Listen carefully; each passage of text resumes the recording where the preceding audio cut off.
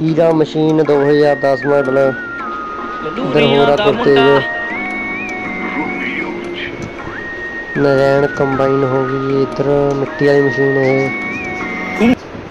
ਅੱਗੇ ਇੱਕ ਹੋਰ ਸੀ ਮਸ਼ੀਨ ਇਹਦਾ ਇਹਦਾ ਰਿਵਿਊ ਮੈंने ਪਹਿਲਾਂ ਵੀ ਦਿੱਤਾ ਹੈ ਵੀਡੀਓ ਤੇ ਜਾ ਕੇ ਜਰੂਰ ਦੇਖੋ ਤੇ ਚੈਨਲ ਸਬਸਕ੍ਰਾਈਬ ਕਰੋ।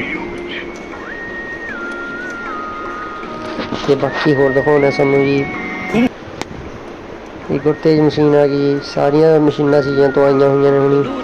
ਬਸ ਇਹਨਾਂ ਦੀ ਹੁਣ ਦੁਬਾਰਾ ਤੋਂ ਰਿਪੇਅਰ ਹੋਣ ਵਾਲੀ ਹੈ ਜੀ। ਉਹ 4x4 ਦੇ ਹੀਰੇ ਟਾਇਰ ਪਏ ਨੇ। ਆ ਸਾਨੂੰ ਹੀਰਾ ਮਸ਼ੀਨ ਦਿਖਾਉਣਾ ਸਾਡੀ ਸਪੈਸ਼ਲ ਸਭ ਤੋਂ ਫੇਵਰੇਟ ਮਸ਼ੀਨ ਦੂਰੀਆਂ ਦਾ ਮੁੰਡਾ ਮਸ਼ੀਨ ਦੀ ਡਿਮਾਂਡ ਬਹੁਤ ਆ ਜੀ ਮਾਰਕੀਟ 'ਚ ਵੀ। ਰੰਗ ਦਬਾਤ ਹੋਣ ਵਾਲਾ ਇਹਨਾਂ ਤੇ। ਬਾਕੀ ਪੇਟੀ ਬੰਦ ਇੰਜਣ ਆ ਜੀ ਇਹਦਾ ਮਸ਼ੀਨ ਦਾ। ਦੂਰੀਆਂ ਰਿਪੇਅਰ ਹੋਈ ਹੋਈ ਆ। ਟਾਇਰ ਵੀ ਦੇ ਸਕਦੇ ਹੋ, ਵਧੀਆ ਕੰਡੀਸ਼ਨ ਦੇ ਨੇ।